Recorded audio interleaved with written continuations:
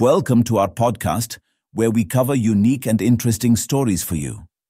In this episode, we will discuss mysterious spider egg object spotted on Mars by NASA. Scientists, with the help of NASA's Perseverance Mars rover, found a strange object on the red planet. The object looks like a cluster of hundreds of spider eggs.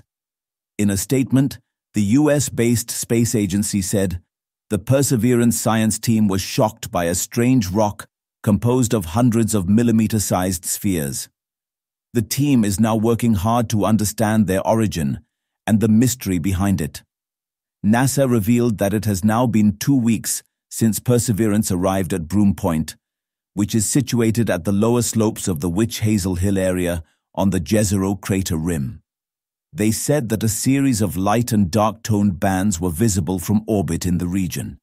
In fact, the rover successfully abraded and sampled one of the light-toned beds just. The space agency said that Perseverance found the strange texture in a nearby rock from this sampling workspace.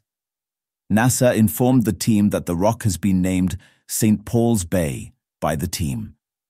It appeared to be composed of hundreds of millimeter-sized dark grey spheres. Some of the spheres occurred as more elongated, elliptical shapes, while others possessed angular edges, perhaps representing broken spherular fragments. Some spheres even possessed tiny pinholes.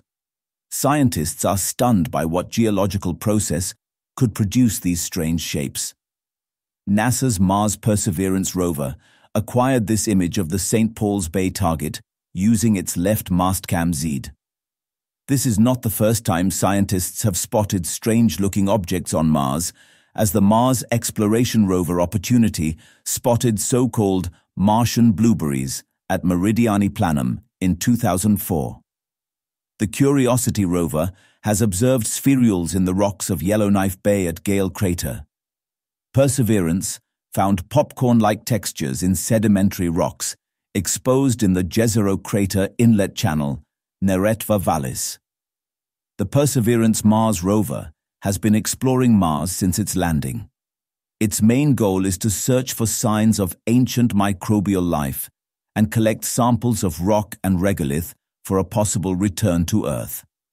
The rover is equipped with seven instruments, including a radar system called RIMFAX. It also has a robotic arm with a turret that can analyze geologic samples from the Martian surface.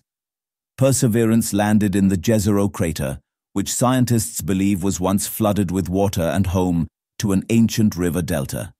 The crater is about 28 miles wide and is located on the western edge of a flat plain called Isidis Planitia. Thanks for tuning in. If you enjoyed this episode, be sure to subscribe and share your thoughts in the comments. Stay connected for more exciting discussions and updates in our next podcast.